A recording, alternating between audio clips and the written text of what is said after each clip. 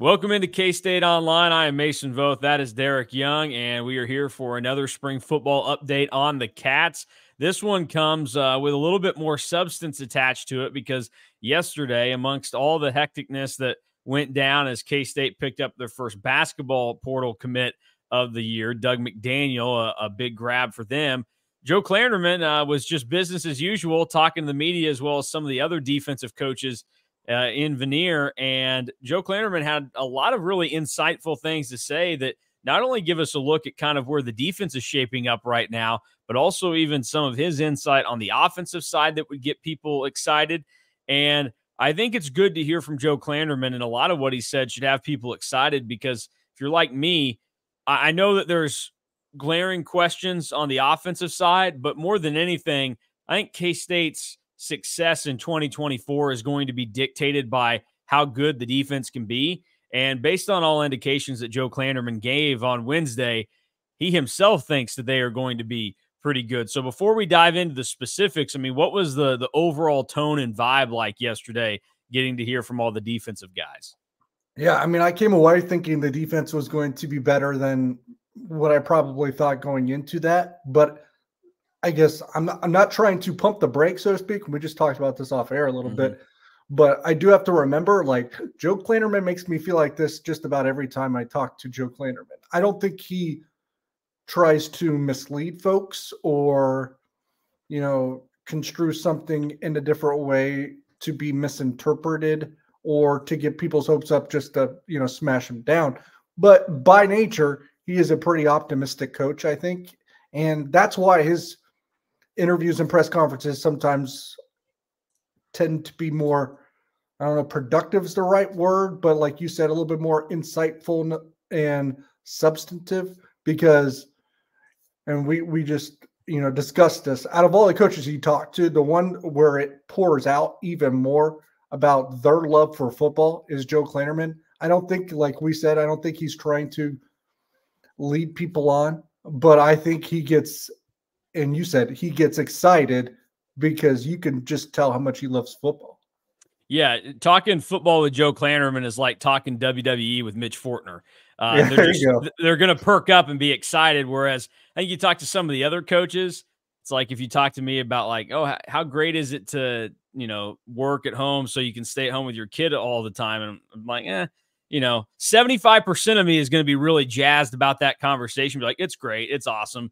And then there's also a part of me that, you know, occasionally is going to be like, eh, I don't know. Like there are times where I wished I could, uh, you know, not do that, but it's great most of the time. I think that's how the football coach situation is. And that's not like a bad thing. I, I think like those guys obviously love and put a ton of time into what they do, but Joe Klanderman, it's like eyes light up and that man is ready to roll. The other uh, 25% of you wishes you were in Cincinnati eating Skyline chili. Uh, I don't know. I if if the two options were stay at home with an almost eight month old baby and eat Skyline chili, then I'd go 100 percent in on staying with the uh, eight month old baby because and uh, eat her food instead. yeah, I mean, I could get by with some of it. Uh, I don't know the she's really into pumpkin right now. I don't. That's kind of an odd mm. one, but I could get down with like the apples and the pears. Uh, I don't know. We'll we'll see as pumpkin. we expand a little bit yeah, I don't know. Her and the dog both really love the pumpkins. So tell tell them wait till October. They're like those people that drink pumpkin spice lattes in April. Yeah, no, she's down for it. She's she's a big fan. All right, well, let's get into uh, the Joe Klanderman hype train, and we'll start with uh, a good spot because one of the groups that I I don't know people were probably going to have some questions about, but we know that there's a lot of depth, and that was probably the word of the day yesterday was depth was used in almost every position, but almost every single defensive end on the roster got name dropped yesterday, and uh, that seems to be a good sign for K State.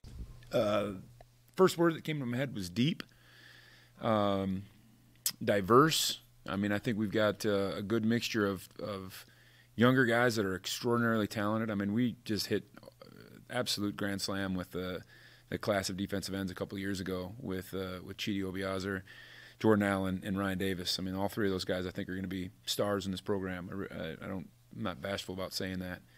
And then when you combine those guys with uh, the Cody Stufflebeams, the uh, Brendan Motts, the guys that have some experience at that position, I'm really excited about where that's at, and and we're trying to find ways to um, maybe get more of those guys involved in what we're doing um, because that room is going to be one of our more talented rooms on defense for sure.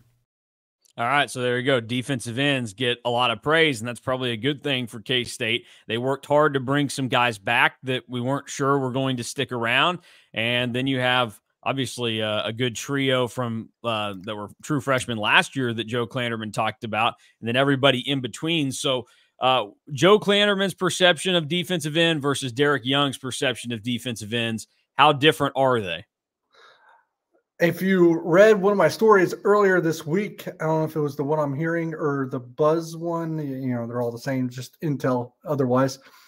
But is basically a perfect reflection, right? Because I said I had a story. I was like, they love what they have at defensive ends. Now I didn't list every single one, or I didn't list the same ones that he did. I did list, you know, Chiddi Obiazor and Jordan Allen as two that they were excited for.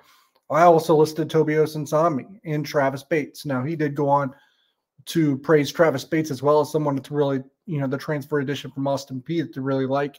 They brought back Brendan Mott and Cody Stufflebeam as well.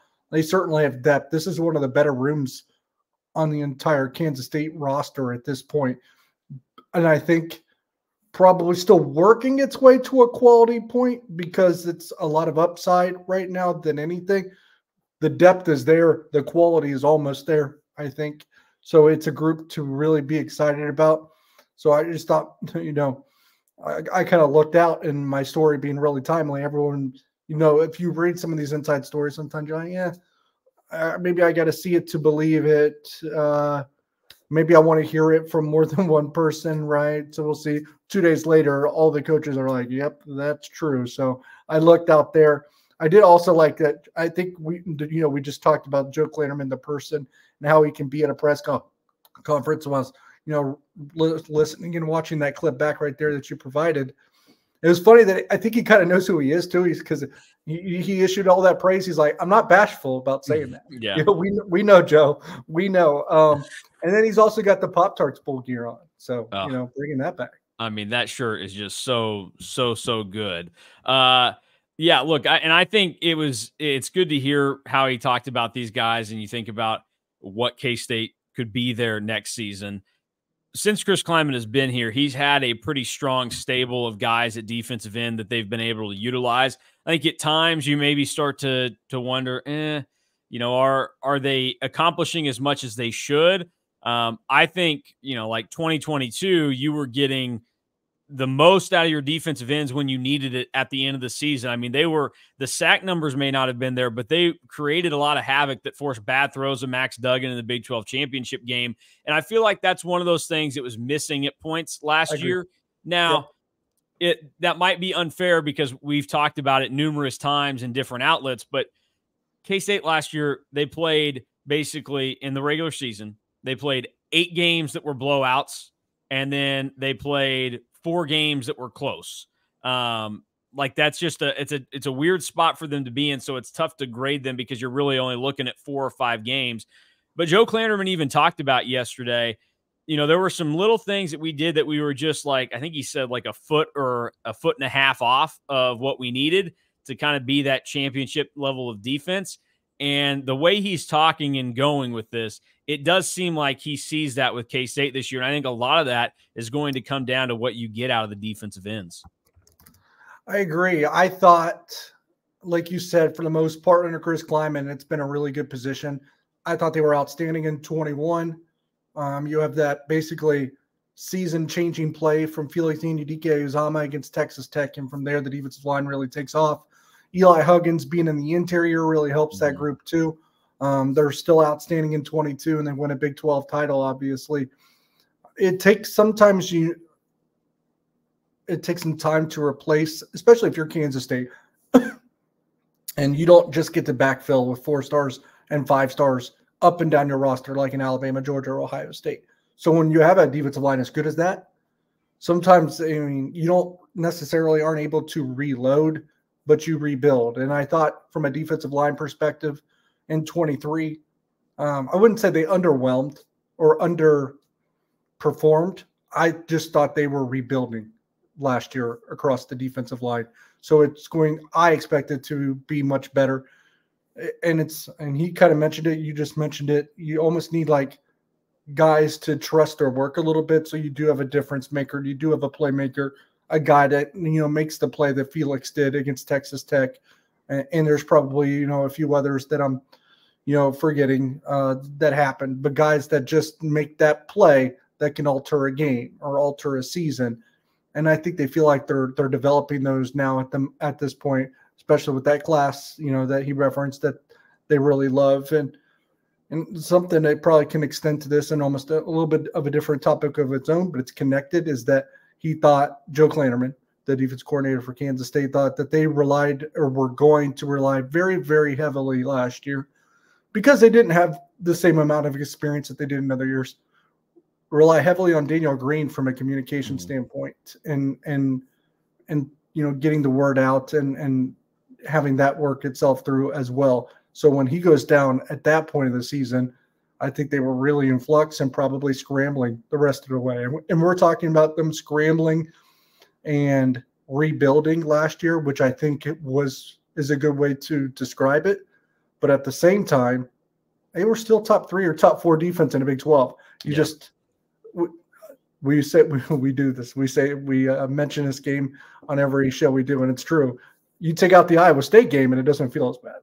Yeah, yeah, that's that is that is true. And you look around, like uh, I was looking this morning, they were eighth in the Big Twelve in sacks last year, but they were only like two away from being tied for third.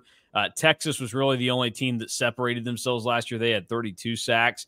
And then you look around, K State had the second best completion percentage defensively last year. And so that has a lot to do with obviously the secondary, which I think got good marks from Joe Klanderman yesterday, but also you are getting enough pressure to make guys uncomfortable at the quarterback spot. So uh, we'll, we'll just have to kind of monitor that throughout the season because we'll do a little compliment sandwich here, you know, give the good stuff and then a couple of things in the middle that maybe uh, aren't so fun to hear and then finish it strong linebacker was a position that my takeaway from listening to Joe Klanderman yesterday was he's not entirely sure about that spot yet. Feels good about maybe the depth. They have more of that right now, but who's going to step up there and how that looks uh, might be a bit of a question.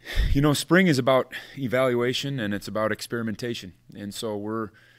Uh, we're trying to find those guys, and we are trying to push some guys uh, up with the with the with the ones. You know, we're trying to get Austin Romaine to realize that he's not a young guy anymore, that he's an old guy. And I think he's doing a great job with that. We are trying to stress Austin more by having him learn more than one position.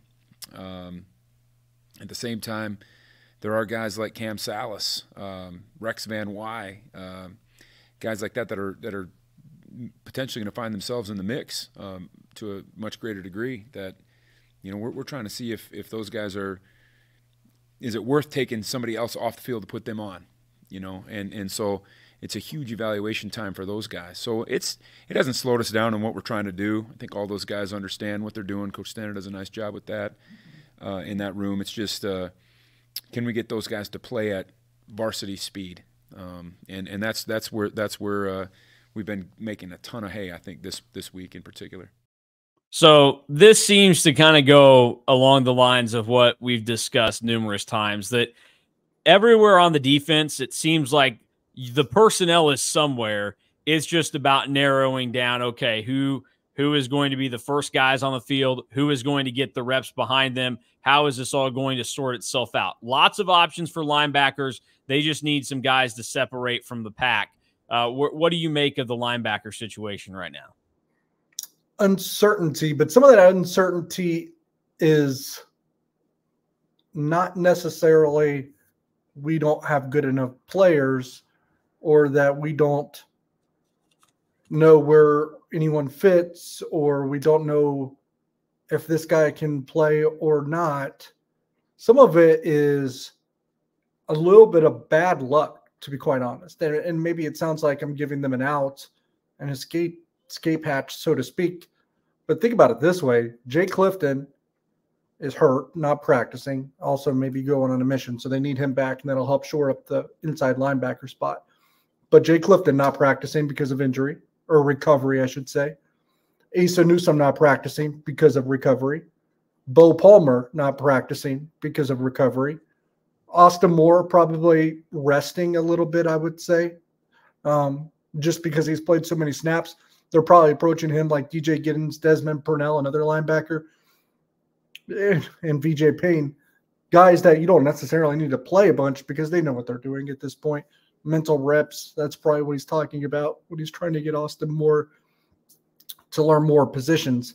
So some of it's just they're probably you know the guys that they're playing right now in practice and coaching right now in practice and putting on that first unit quite a bit is guys that probably are not going to be on that first team in the fall. So you got to think of it that way too. So they probably feel a little uneasy. Um, it's probably the same way that Mike Tuiasosopo and, and Buddy Wyatt felt last spring when the defensive line had nobody. You know, um, they were pretty cracked out there. So uh, I think the linebacker position is probably in a better spot than they feel, but I can understand the uneasiness because is Jay Clifton going to be there in the fall? How healthy or 100 close to 100 percent will he and Asa Newsome be?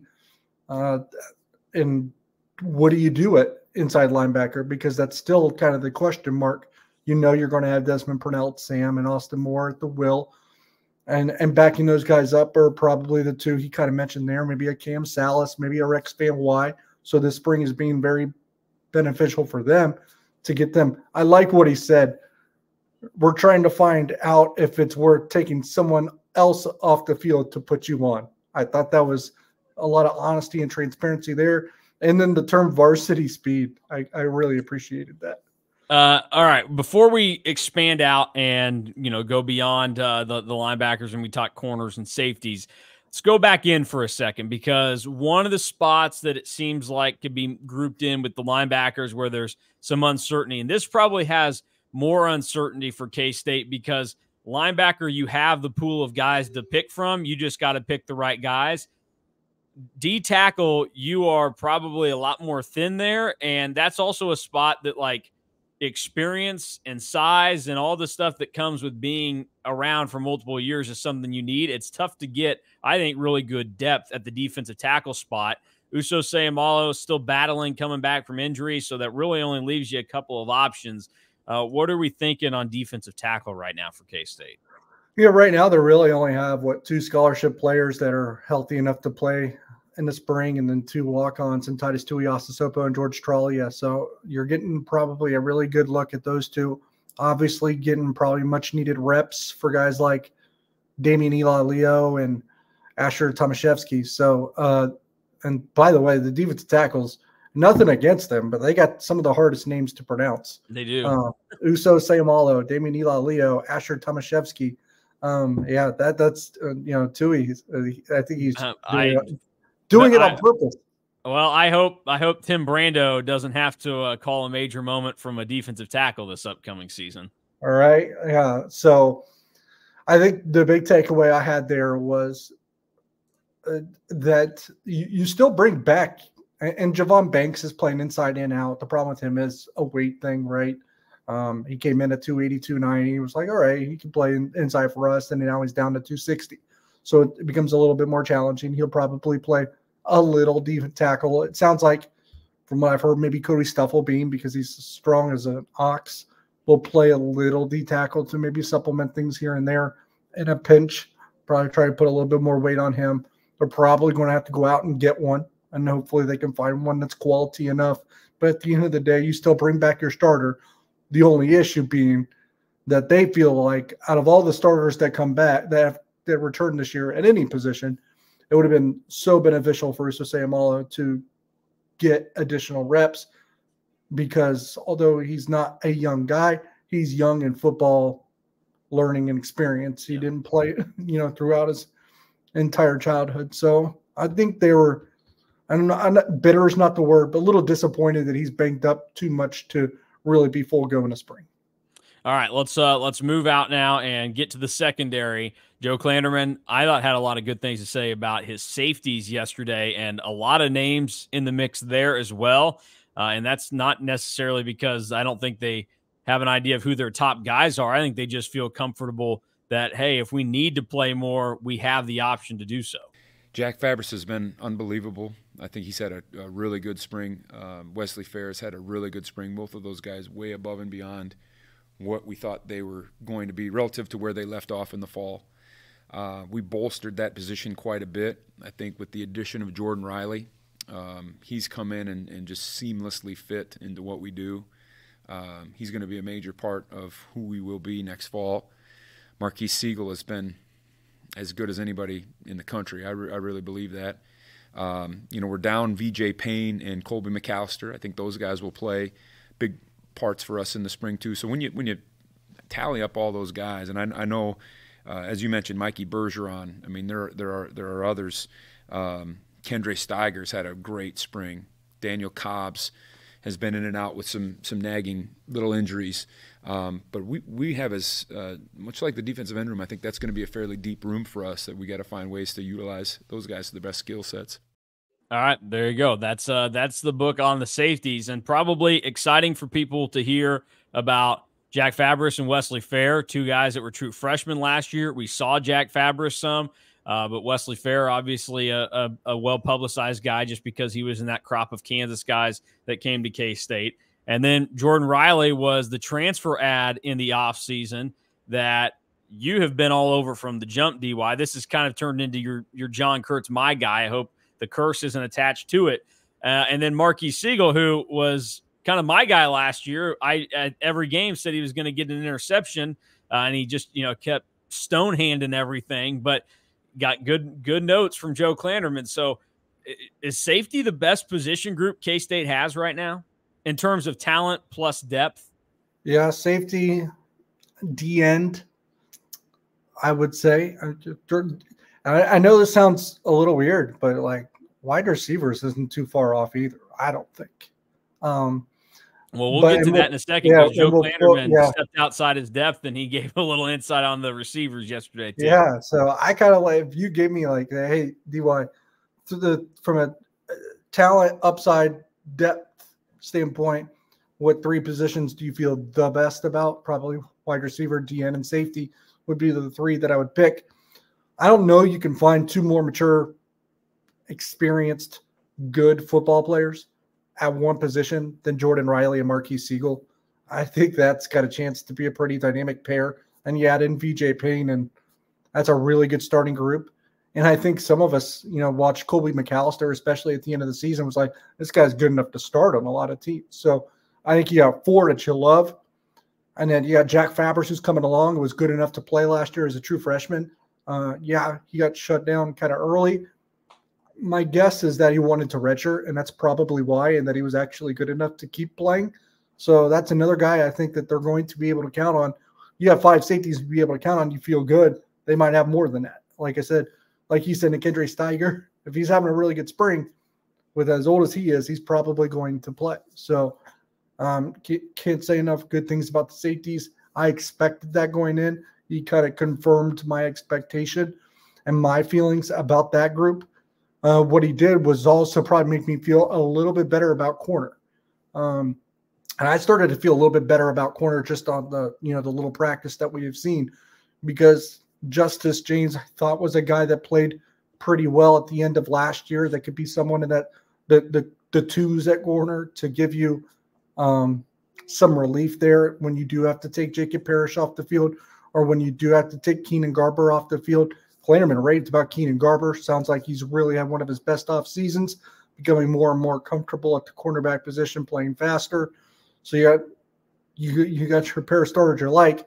Justice James continuing to ascend. And I thought that he started to earn those snaps with the twos last year and and was not, you know, when he was on the field, it didn't look like he didn't belong. It looked like he belonged. So you now you need to maybe get that one or two extra corners. Tyler Nalone's been banged up again.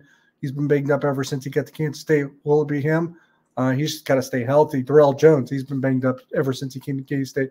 Will it be him? He's got to stay healthy. But the one I liked, you know, in the, the minimal practice that we've seen has been redshirt freshman Donovan McIntosh. Ton of size, ton of length. Sounds like he's continuing to get better. Someone that they're going to consider putting on the field this year. And he had a lot of good things to say about Kynigel Thomas as well. So you talk about I think that is the same class. No, not the same class as the defensive ends. I think they're a year behind.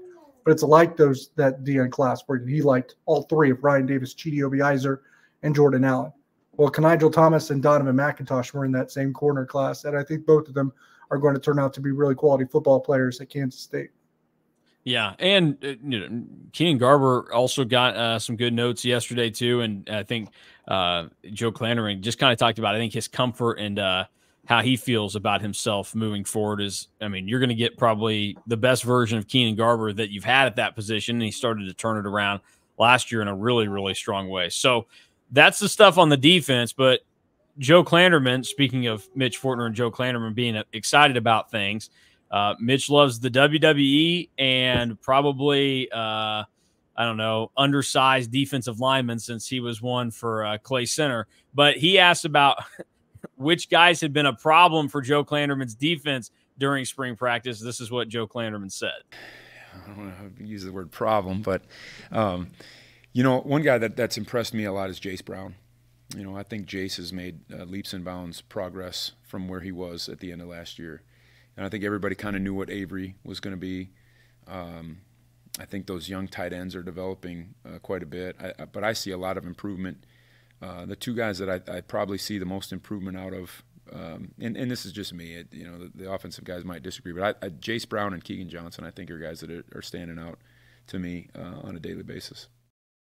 I think that those are two really exciting things to hear for different reasons. Number one, I think everybody understands how good Jace Brown was down the stretch last season. He was basically K State's top receiver, uh, probably from the Texas game on around that that area. He really took off, and they they went to him more.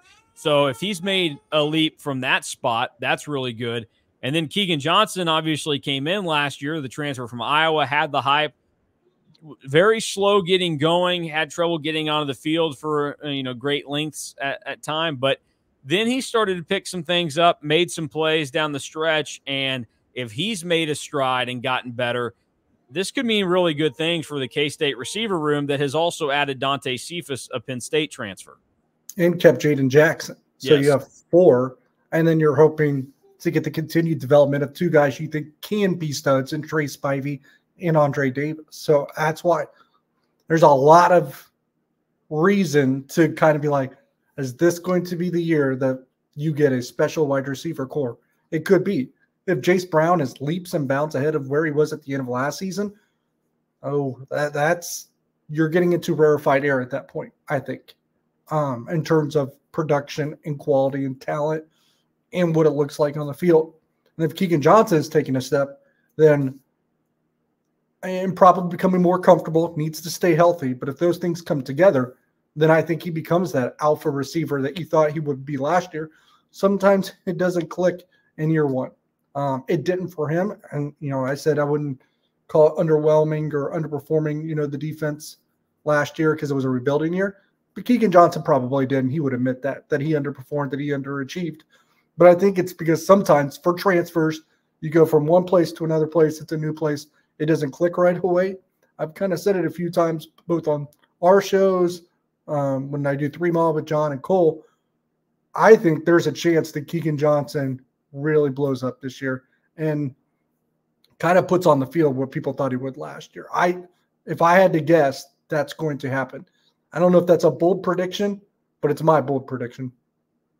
Uh, you know, I think I'll give it to you because uh, we know at times it can be uh, a little little tricky and dicey uh, for K State receivers. They, you know, got some guys got to live up to the hype there. But I think it's in a good spot. And then obviously you pair it with the fact that Avery Johnson is your quarterback next season. You are starting to get the ingredients to kind of add up. And and I mean, I think people were already pretty high on this team this coming year, and obviously the odds makers have been. We've talked about that at different points as well, but.